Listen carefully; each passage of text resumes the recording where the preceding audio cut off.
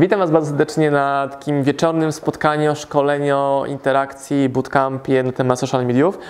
E, zacznijmy od tego, e, powiedzcie mi proszę, dlaczego Wy tu jesteście? Nie chodzi o Waszą motywację, ale co my zrobiliśmy w internetach prawdopodobnie, że to jesteście. Taką sobie rundkę zróbmy, ok? I będziecie mieli wtedy 20 strategii marketingowych za darmo już, na samym wejściu. Czyli co ja zrobiłem według Was, że Wy to jesteście? No? Reklama chyba na Facebooku. Mhm. Reklama na Facebooku. Z dzisiejszym wydarzeniem. I teraz, Czy to było wydarzenie, czy to był post, nie, pamiętam. czyli Facebook, a nie do końca e, wiesz, jaka aktywność, czy płatna reklama, czy fanpage, czy konto prywatne. Dobra. Podpowiedź robiliśmy wszystkie opcje. Więc z któregoś kanału do Ciebie dotarliśmy. Dobra. U Was? U nas było tak, że Cię oglądamy już od dawien dawna i cały czas mamy takie w głowie, że jesteś taki normalny, a jednak osiągasz cały czas to, co chcesz, to, co sobie Mhm. założysz. No. A oglądacie mnie gdzie? Na YouTubie? Czy na Facebooku? Mhm. Na YouTube. Okej. A wiecie, w którym momencie pokazałem się Wam na YouTubie? Nie, bo to było bardzo dawno. Ale na pewno te filmy gdzieś tam z wody. Ale rok, dwa, trzy. Te filmy z wody, więc nie To z wody to był rok, rok temu Tajlandia. Luty, marzec, kwiecień. to mniej więcej ten czas. Nawet bardziej marzec, kwiecień. Okej. Mhm. No ja musiałem być, no nie mogę. Jak zawsze jesteś w Poznaniu, to, to jestem, dlatego tak już przyzwyczajenie, wszędzie widziałem, że... Dobra, a nasz romans zaczął się od spotkania konferencyjnego lat temu trzy, ustaliliśmy wcześniej. Okej. No? U mnie Instagram. Y, Już widziałem, że tak powiem, te wcześniejsze y, spotkania, na które niestety nie dałem rady y, przyjść i jak teraz zobaczyłem, że ponownie, to mówię, murbet. Mhm. Dobra, mega. U mnie przypadkowo dużo podróżuję, słucham audiobooków i na Storytelu jakoś tam wpadłeś przypadkowo. Zobaczcie, mamy już 6, 5 strategii marketingowych, które używamy. No? Ja z podcastu Małej Wielkiej Firmy. A wiecie! Jak byłeś? Kolejna opcja, no? Byłeś właśnie. No i przyszedłem do Ciebie na YouTube'a i w sumie już w Poznaniu byłem z Tobą. W tym ostatnim Poznaniu? Ostatnim, no. Na uczelni, tam było 60 osób, tak w Tak. podziemiach taka sala. No, no. No i jak na YouTubie pamiętam, to chyba na kajakach pierwszy filmik z kolegami. Coś A, czyli to był wieczór, to był dzień, dzień kawalerski szwagra y, maj. No, Maj 2018. coś takiego. A jeszcze pamiętam, jak nagrywałeś właśnie z basenu no, w nocy, co do Ciebie napisałem. Mówi, wtedy jeszcze chyba byłem jedyną osobą na live. Bo akurat z noski w grupie. Pamiętam to. Raz robiłem pierwszego live'a. Przychodzę, przychodzę z nocki, już chciałem się kłaść. No i patrzę, o, live jest. I chyba testowałeś e, live na YouTube. Tam, tam trzy osoby były na tym live wtedy, nie? Pamiętam to. to była też, byłem z Kamilą Dominiką. E, Dominika w tym basenie pływała nawet chyba tam z boku. Moja żona już była w ciąży, się źle czuła, była w, w pokoju. To był pierwszy live mój YouTube'owy. Dokładnie, testowałeś. Czyli rok temu to musiał być marzec, kwiecień, marzec. Tak, musiał to być marzec, że już ci sprzedałem dzisiejsze szkolenie za stówkę, nie? No, coś takiego. A kupiłeś książki wcześniej u mnie jakieś? Wcześniej nie.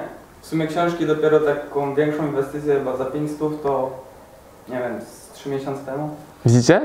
No. Czyli trzyosobowy Facebook, e, YouTube Live z basenu robiony komórką jako eksperyment. O 4 nad ranem.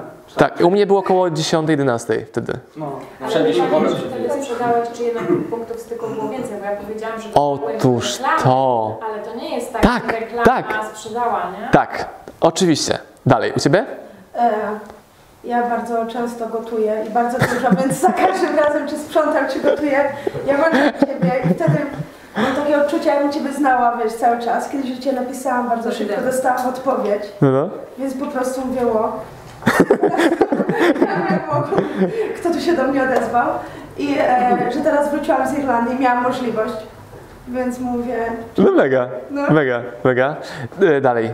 Żona mnie zachęciła. Tu jest żona. A, to twoja wina. Tak, więc przyznaję się, jestem e, bardzo świeży, jeśli chodzi o kontakt z Tobą. Mm?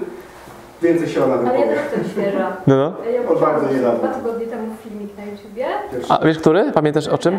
Byłam na bardzo dużo rzeczy, a nie wiem, który był pierwszy, bo już ileś tam No, no. byłam. No i później wyszłam na Instagrama i na Instagramie była wiadomo, że tutaj jest poza szkole. Okej. No, no. Kurde, wiesz co, ja nawet nie pamiętam. To też trwa chyba już rok. Pamiętam, yy, chyba jechałam z Poznania do domu i włączyłam sobie yy, to, jak byłeś w szkole gdzieś tam. I Wystąpienie w szkole. Mhm. Tam były dwa albo trzy takie wystąpienia, no, no. Później o tych rybach, które się uśmiałam. I tak po prostu zaczęłam Cię oglądać, a w ogóle chyba jakiś mój znajomy to udostępnił. Okej, okej. To było takie zawiłe ogólnie. Dobra? Mhm. Ja dzięki narzeczonej właśnie. No też oglądałem. Przy vloga to cię za... Ja mówię, dobry gość Marcin, ja się jesteś akurat z Poznaniu, a że akurat też tu jesteś. A skąd wiedziałeś, że jestem w Poznaniu w ogóle? W ogóle ja Cię y, z klubu mieć. Czyli byłem na live u Fryderyka Karzełka, to był live... Kiedy ja byłem w Gdańsku do Dominika? To już było jakiś czas temu? Kiedy ja byłem w którym mieście na szkoleniu? Gdańsku. Gdańsku. Trzy miesiące. No, tam. Trzy mie- Widzicie? Znacie mój kalendarz lepiej niż ja. Czyli trzy miesiące temu na... Tak, tak. Okej? E, Ja na Ciebie trafiłem na YouTube. e, No. Przy okazji oglądania e, z Danielem Siwcem i z Wojtkiem Wodziszką. Aha. Tematyka. Wideo sprzed dwóch lat. Dwa lata temu wideo nagrane. Tak. No. Potem przeniosłem się na Instagrama. No. A w sumie to wczoraj był przypadek, bo oglądałem e, Twój wykład z Poznania. Tak. E, Kurde, bym zobaczył na, na żywo. Tak. Potem na Insta Story. Poznań odciągamy. Tak. To jest to. Tak. Ale że zrobiłem jedną rzecz, że co? Domknąłem cię. Czyli... Pisaliśmy jeszcze, no. Tak. Właśnie. Czy była żywa interakcja jeszcze że między nami, żebyś tu przyszedł? No, no. Tak. Okej, u Ciebie? Wiesz co, ja kupiłem dwa lata temu pierwszą książkę, więc można powiedzieć... Dwa lata temu. A którą? To jest e, Hustling. Aha. I więc można powiedzieć, że trafiłem do Ciebie przez sklep internetowy, w Google szukałem frazę, nazwy książki i jakoś spodobał mi się Twój sklep i stwierdziłem, że fajnie robisz, tam No. wolę kupić Ciebie niż na Allegro. E, No jak ją kupiłem, no to gdzieś tam Cię polajkowałem i faktycznie tak dwa lata to trwało. E, A teraz jest dobry czas, bo od jakiegoś czasu, od 5 miesięcy też gdzieś tam zacząłem działać i Mhm. fanpage i spełnisz coś Mhm. robię. Stwierdziłem, że to jest dobry czas, jesteś fajnym gościem, który to robi już dłuższy czas i wytrwale Mhm. gdzieś tam, więc, y, więc się pojawiłeś i już akurat Poznań akurat dzisiaj. I na koniec pan Mieszko Król. E, Przez Łukieńczyka Marcina. Okej. I teraz pytanie, skąd ja w ogóle, w ogóle wiem, że jesteś Mieszko Król? Nie? Dobre, nie? Że akurat ty to ty. E, Nazwisko prawdopodobnie. No. Też e, z drugiej strony e, jestem osobą, która zawsze e, jakby trochę wywyższa nazwisko e, poza imieniem, bo zawsze się podpisuje Króleszek. A? E, To jest, to jest ciekawe. E, Ale przez Marcina Łukieńczyka trafiłem na Instagram, zacząłem jakby Mhm. to, to się dość mocno obserwować. Później stwierdziłem, że a, miałem taki dryk na, na książki, więc a, zamówię coś. Zamówiłem liderów i jeszcze jedną książeczkę. I później właśnie trafił się kurs. Dobra. I zobaczcie, ile tutaj było mechanizmu sprzedaży, sprzedaży marketingu. O, przepraszam, Kamil. Kamil. Dawaj, Kamil. No ja e, oglądam Cię od kilku miesięcy, ponieważ od kilku miesięcy zacząłem interesować się ogólnym e, zarabianiem w internecie, co też pomaga. A zajmujesz się sportem, prawda? Robisz takie rzeczy, których ja chyba nigdy nie będę robił. Jakieś pompki z przewrotem, coś tam w ogóle, what the fuck. Kalistanika, czyli wiadomo, jakieś pompki na rękach i tak dalej. Hardcore, no. Ciekawe rzeczy. No i dzisiejszy event widziałem właśnie z Facebooka. Kojarzycie takie filmy, że ktoś udostępnia film o sportowcu, jakieś dziwne akrobacje ktoś robi i myślicie, to jest w Stanach, nie? On takie właśnie rzeczy dziwne robi. Ja myślę, że ty udostępniłeś jakieś w ogóle wideo kosmity, a to byłeś ty. To. To byłeś ty, właśnie. I teraz kolejna lekcja, jaką tutaj chcę wam podrzucić. Zobaczcie, ja was znam. Królomieszko, Kamil ćwiczy, tu się znamy z eventów, nie? Krzysiek, Instagram, tak. Ja jeszcze trening pisałem tam chyba tydzień, nie od razu po tym jak dostałem maila. No. A napisali, że z ekipą jedzie, więc... No, no, właśnie. I zobaczcie, jak wiele mechanizmów po drodze się wydarzyło u mnie. Yy, teraz wam to uporządkuję. Działam od lat, nie? Od lat. Działam w każdym medium, YouTube, Facebook, Instagram, tak? Każdy z was musiał przejść tą drogę, żeby u nas wydać pieniądze. Marcin, ile lat działasz właśnie? Nie wiem od kiedy mierzyć. Działam 35. Jakby start zaczęło serce bić. Dobra. Ale tak w internecie. Nie wiem od kiedy to liczyć. Jeśli chodzi o SM Power, to e, w 2000. O! Książka Biznes Cię Ucieka powstała w 2013 roku. To była pierwsza książka. Była pierwsza książka. Wtedy działałem przez rok z tą książką i zaczynaliśmy działać. Zaczynaliśmy. Później była druga książka e, mojej żony, czyli mieliśmy dwie książki. Czyli 2014-15 mieliśmy w swojej ofercie trzy produkty. Ta książka, książka mojej żony i zestaw naszych książek. Trzy produkty. Na początku było zero strony internetowej, w ogóle nie było nic. Był tylko e, autor książki i cena. Zanim w ogóle ta książka się pojawiła. Później była już gotowa książka, później książka mojej żony, później pakiet książek, czyli mamy 2015 rok mniej więcej. I więc myślę, że największe ciśnięcie OSM Powerowe jest od dwóch lat. Ale znowu, jak mierzyć aktywności internetowe? E, Dużą, e, główne takie przełomy zeszłoroczne to wideo o latę we wrześniu. Oglądaliście wideo o latę? Tak? Tak, takie wideo, które ma 210 tysięcy odsłon prawie. Czyli ono wpadło na mój kanał, nagrany iPhone'em, iPhone'em, tym, którym trzyma Dominika, dokładnie tym iPhone'em. Proszę bardzo. To jest dokładnie to urządzenie. To jest... Tak, Piotr go zmontował, tam było zero roboty, nie? Umówmy się. Właśnie, cały montaż, cały montaż, nagrany w 16 minut, wideo, które ma 15 minut. I ono ściągnęło ponad 200 tysięcy odsłon, e, jakieś 180 tysięcy odsłon wpadło w kanał w pierwszym tygodniu. I to pierwsze wideo pociągnęło kolejne wideo i wygenerowało ekstra 500 tysięcy odsłon. Ale wcześniej robiłem tych wideo dużo. Czyli zrobiłem prawie 400 wideo, żeby to jedno takie wpadło na podatny grunt i miał gdzieś, gdzie ten ruch się rozejść. Gdybym, Nazywa to wideo jeszcze raz? jak pisze, Osman Latte, tak jak kawa latte. A jaka była duża y, społeczność przed tym wideo? Przed tym wideo mieliśmy jakieś 4-5 tysięcy subów. No ja tak gdzieś dołączyłem, jak miałem coś koło tego. Tak. Cofając się, to, e, to było wideo we wrześniu. Nagraliśmy wideo z Robertem Grynem e, w maju, nie? Kwiecień, maj. Też wpadło tam 50 tysięcy odsłon, więc też ten kanał poszedł trochę wyżej. Wcześniej 2017 listopad, grudzień.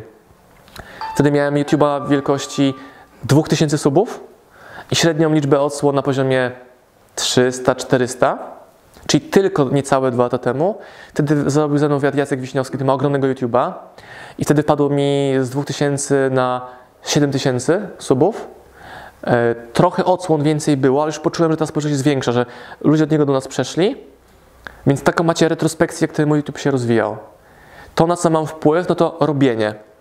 Nie mam wpływu do końca na algorytmy YouTube'a i Facebooka, więc to, co mogę robić, to robię w zakresie mojej kontroli. A ty myślisz, że to ilość cykli powoduje Ja myślę, że robienie, jedna rzecz, takie warstwy, nie? Pierwsza warstwa robimy, robimy, czyli produkuję wideo. Wiele osób chce mieć odsłony na, na YouTubie, ale nie robią wideo. I dziwią się, że nie mają odsłon. Naprawdę się dziwią. Albo że robiąc trzy wideo, nie mają odsłon. No bo po pierwsze, nie zrobić dobrego wideo, żeby YouTube chciał to polecać bardzo mocno. Nie mają nowych umiejętności, jak to wideo robić. Nie mają nowych umiejętności, jak edytować. Albo jak nie umieją edytować, nie mają jeszcze umiejętności, żeby nagrywać bez konieczności edytowania. Nie umiem edytować wideo, no to naucz się tak nagrywać, żebyś mógł w ogóle tego nie edytować. To zdanie z jakiegoś mojego wideo wyłapała moja społeczność i dopiero sobie później skumałem, jak bardzo to jest mocne i mądre.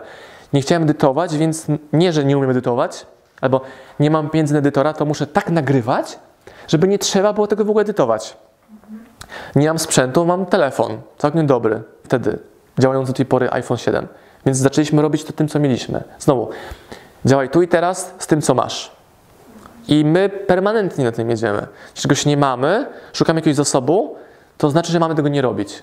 Mamy tyle narzędzi własnych, że nie ma sensu szukać jakichś narzędzi, które do tej pory jeszcze nie, nie znaleźliśmy, nie widzieliśmy, nie mamy. To jest ta różnica. Kiedy robiłeś z Jackiem wywiad? To Jacek robił ze mną. To jest ważne. Yy, to było w 2017 w listopadzie. To No. na YouTubie gdzieś tam masz, tak? U Jacka na jego kanale. To wideo w samochodzie. To wideo ma teraz około 25 tysięcy odsłon. Yy, 15-16 tysięcy odsłon miało w dwie doby. I później zatrzymało. Czyli YouTube powiedział OK, pauza i promował jego inne wideo. Ale to wystarczyło, żeby tam część subów do mnie przeleciała. I teraz wokół tego robimy co? Facebooka, Instagrama, mailingi, webinary, spotkania na żywo. I to powoduje, że sumuje się ten ruch. Nie robimy jednej rzeczy. Robimy różne rzeczy. I taka jest strategia OSM Power. No i co Was w tej strategii najbardziej interesuje? Powiedzcie mi, żebym mógł pójść głębiej w ten obszar taki stricte dla Was interesujący. Wszystko w takiej samej, że tak powiem, y, ilości? Jakby czasu poświęcacie tyle samo na to samo medium, czy któreś jest troszkę wyżej? Zmiana jest taka, że coś, co nam ludzie nie wierzą, że na początku robiłem wszystko sam. Później pomogła mi w tym Kamila, dwie osoby. I zespół dopiero pojawił się. Dominika ona się pojawiła dwa lata temu w styczniu, czyli 2017 Dominik, nie? Tak. Tak. 2017 pierwsza osoba na pokładzie na full time. Wcześniej przez kilka miesięcy pracowała zdalnie częściowo nad obsługą sklepu na przykład. Pierwsza osoba w teamie. Czyli przez te dwa lata cisnęliśmy sami. Dominika dołączyła, zaczął się robić team.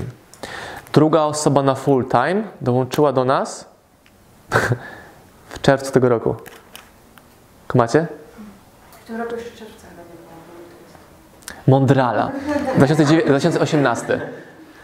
W 2018 roku. Czyli, Czyli króciutko. czyli mega krótko. Osoba numer ja, Kamila, Dominika, Norbert. Jak to robiłeś sam? Bo odpowiadałeś szybko i na wszystko. No, komórka jedziemy. Nie było żadnego mechanizmu delegowania. Cała reszta? Która reszta? Mm, nagrywanie, sprzedaż i kontakt z innymi ludźmi. Nagrywanie, edytowanie. Marcin Osman. Od kiedy robisz dla nas edycję, Piotrek? Maj, kwiecień. 2018. Trochę wcześniej, a YouTube tak chyba maj, czerwiec. Tak. Zdecydowałeś gryna, znaczy, że koło maja już robiłeś wideo, więc pewnie koło kwietnia 2018. Piotrek, którego widzę drugi raz w życiu, trzeci prawie że, no ba- bardziej drugi, bo za pierwszym razem po prostu pomachał do mnie. E, mieszka w Szczecinie. Kto jeszcze jest z e, takiego core teamu? Jest Mikołaj. Mamy od trzech tygodni, od czterech tygodni dopiero teraz na full time edytora i kamerzystę. Mikołaja. Czyli dopiero na wideo numer 450 którymś, dopiero mamy kogoś na full time. Wcześniej Marcin Osman albo Dominika Szymańska, która po prostu ustawiała aparat. Wtedy nie potrafiliśmy w ogóle nawet ostrości ustawiać, jakichś parametrów ISO, SRISO. Teraz chyba Dominika to już potrafi, zobaczymy na tym wideo. Marcin, w ogóle w jakim programie ogarniacie, edytujecie? E, Wszystkie były robione w iMovie, czyli darmowy, darmowy program na Macu, a cała edycja później jest na Adobe Pro. Tak? W Vegasie. Albo w Vegasie, czyli wersja dla biednych Vegas, a dla tych bogatszych e, Adobe Pro. Ale to też się wydaje trudne, zanim się nie zacznie, bo ja też na początku, zanim w ogóle nie montowałem, to myślałem, że to jest mega trudne, Mhm. a teraz montowanie filmu zajmuje mi pół godziny. Bo raz, że montujesz lepiej, masz swoje template'y, nagrywasz w sposób bardziej świadomy i to jest coś, czego ludzie nie chcą robić, że nie chcą przejść tego procesu nauki. Kilka nocy No bo- nauczyłem się z YouTube'a jak robić to, no i Właśnie, ale jakie są warstwy działania przy wideo? Samo nagrywanie, nagrać, to jest record, ale później jeszcze jest e, download, e, edycja, e, upload, sorry, upload. Upload, tak render po drodze, to często trwa dłużej niż samo nagranie. Mm, zrobienie miniaturki, zrobienie opisu e, i dopiero w tym miejscu tutaj, dopiero w tym miejscu zaczynamy promocję tego wideo. I teraz, żeby to zoptymalizować, ja zacząłem tak. Co mogę zrobić? No, mogę nagrywać. No to komórka, cyk, nagrywamy. Nagrałem jedno, drugie, czy czwarte, piąte wideo. E, Edycja. Też nie wiedziałem, jak to robić. Wydawało mi się, że to trudne. Jaka jest najprostsza opcja? Nagrać prostą rzecz, żeby nie trze- potrzebny był w ogóle był montaż. E, Co robią ludzie najczęściej na początku przygody z wideo? Zamawiają intro. Okej, żart się powoli rozchodzi, ale tak robią. Dop- Słucham? Jeszcze nie mam, a już prawie rok nagrywam. Właśnie. Intro w ogóle nie jest istotne. Jak zajmujecie się intro albo wyborem sprzętu, to odciągacie się od kontaktu z rynkiem czy z klientem, czy robicie rzeczy zbędne. Albo rzeczy stricte marketingowe, a na początku mają być rzeczy proste, szybkie, konkretne, sprzedażowe. To jest największy protip tego spotkania. Nie?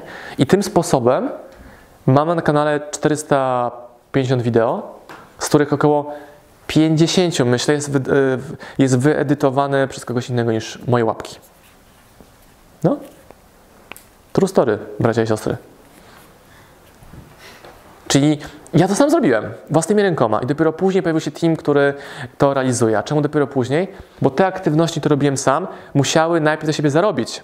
I dopiero później te aktywności, które kaszujemy, możemy wydawać na promocję, sprzedaż, outsourcowanie tej usługi edycyjnej. Hmm? I to jest przykład, jak działa ten model u mnie. To jest nagrywanie. Ale ten sam mechanizm jest w przypadku robienia webinarów. Najwięcej pieniędzy, prawie że, prawie że, najwięcej pieniędzy w sprzedaży online zarobiliśmy robiąc webinary. Kto z Was był na moim webinarze kiedykolwiek? Prawie wszyscy, tam 3 czwarte grupy. Ale fizycznie? Fizycznie na webinarze tylko była Kamila i Dominika. A to tak akurat y, mogę coś powiedzieć od siebie, że kiedyś przyszedł do ktoś. Znaczy na, na Stadion Narodowym robiliśmy, na Stadionie Narodowym robiliśmy webinar i przyszły osoby po prostu. Aha, okej. okay. na webinar. Tak, y, mieliśmy czasami pytania, w który, y, o adres webinaru. Tak, tak. Nie chodziło im o adres linka, Czasami tylko, trzeba być przygotowany na to, że ktoś przyjdzie. prawda? Z pieniędzmi. Nie, nie akurat. Bo nie miałeś terminala pewnie do kart. Nie, to trochę e, co innego sprzedawałem i oni by tak od razu tego nie wzięli. A skąd wiesz? Bo jeszcze nie byli gotowi, najpierw muszą się sprawdzić. A może być gotowy, ty mi tego nie zaproponowałeś, tylko czekałeś z marketingiem, aby ich coś tam ogrzać jako kontakt. Nie, nie czekałem. Oni właśnie po to przyszli na webinar, żeby się dowiedzieć, czy są gotowi.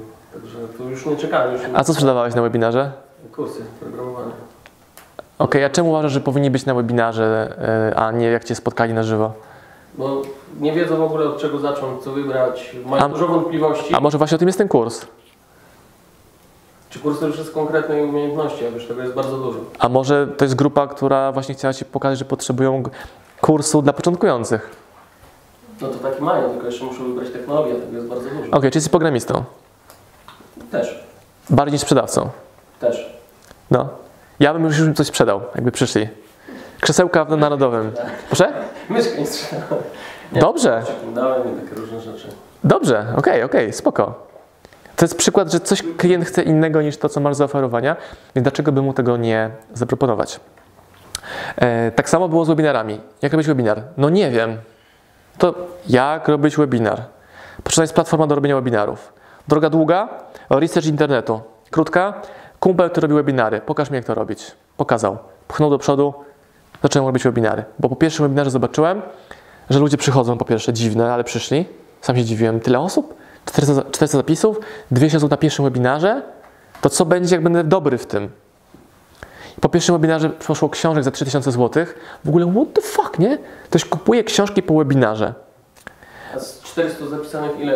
Połowa przyszła. A, Połowa, połowa. Ja ostatnio już miałem 400 i wyszło 70. No, no. Eee, I robiłem ten webinar, pamiętam, z Portugalii, czyli na wyjeździe. Czyli miałem narzędzie do zarabiania online zdalnie. Nie musiałem tego nigdzie prowadzić e, e, w biurze fizycznym. Są dyskusje na forach o sprzęcie. Jaki sprzęt? Komputer z kamerką, nie dodatkową, twój komputer. Rekomendowana inwestycja? iPhone i MacBook. Można się spierać, nie spierać. Ja tego używam od lat. Polecam każdemu. Nigdy mnie nie zawiódł. Raz się spalił, raz zalaliśmy. E, Jak. Na dzisiejszy właśnie jakiego iPhone'a byś polecił? Ja mam teraz 7 plusa, jest nowa dziesiątka. Jak mi się zbije ten, to kupię dziesiątkę. Jak mi się nie zbije, mam 7 bez zmian.